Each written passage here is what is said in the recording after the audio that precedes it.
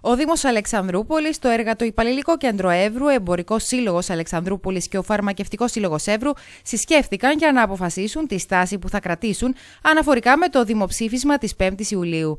Η πρωτοβουλία της σύσκεψης αυτής ανήκει στο Δήμαρχο Αλεξανδρούπολης Βαγγέλη Λαμπάκη. Ναι, απέναντι όχι στους δανειστές, όπως συνηθίζουν να λένε οι λάτρε του όχι, αλλά το ναι απέναντι στο ότι πραγματικά το λιγότερο καλό είναι αυτό απέναντι στην καταστροφή. Ο πρόεδρος του Εμπορικού Συλλόγου Αλεξανδρούπολης μίλησε για την ανάγκη ύπαρξης μιας αδιαπραγμάτευτης και σταθερής ευρωπαϊκής πορείας. Δυστυχώς η άλλη απάντηση, το όχι, μπορεί να επιφέρει δυσμενή αποτελέσματα στην, ε, στην πορεία και της, της Ελλάδος και της οικονομίας.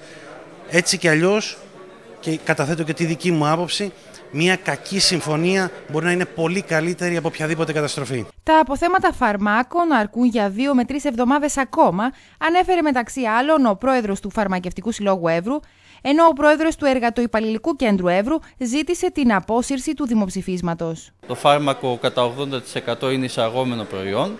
Η αγορά για να μπορεί να εφοδιάζεται κανονικά πρέπει οι τράπεζες να λειτουργούν και η οικονομία να κινείται, οι εισαγωγές να γίνονται και να μπορεί ο κόσμος να παίρνει τα φάρμακά του. Θα φέρει σε ανεξέλεγκτε καταστάσεις στον ελληνικό λαό και σε διχασμό.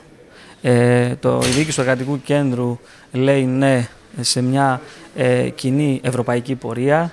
Λέμε ναι στην Ευρώπη, ναι με κοινό νόμισμα.